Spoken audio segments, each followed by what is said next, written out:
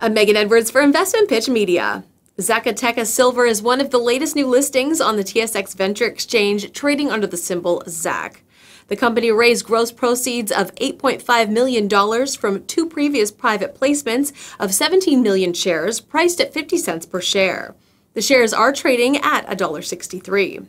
The Zacatecas silver property is located in Zacatecas State, Mexico, within the highly prospective Fresnillo Silver Belt, which has produced over 6.2 billion ounces of silver.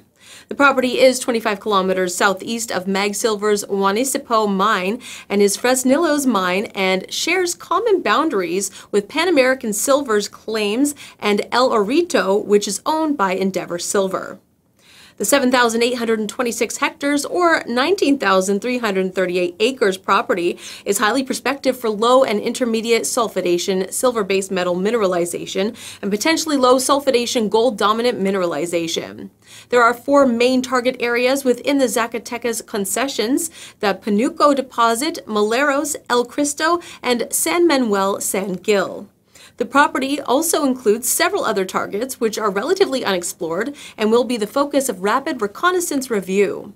The Panuco deposit, located in the north of the concessions, is the most advanced prospect with mineralization that remains open along strike and down dip.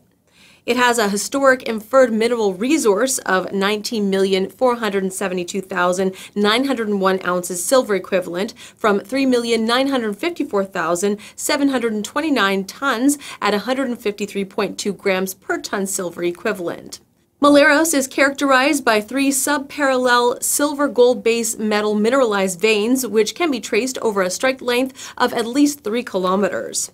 El Cristo, which comprises a number of silver base metal veins that define an extensional jog of approximately 3 kilometers in strike length and 500 meters of width, represents the northwest strike extension of the Veta Grande vein system, which is reported to have produced over 200 million ounces of silver. San Manuel San Gil is a relatively unexplored target with northwest southeast oriented silver base metal veins.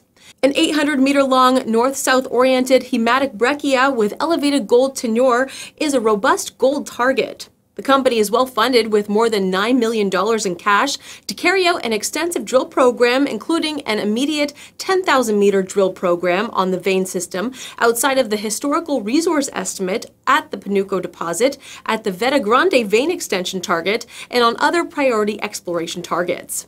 For more information, please visit the company's website, ZacatecasSilver.com. Contact Brian Slesarchuk, CEO at 604-229-9445 or by email at info at ZacatecasSilver.com.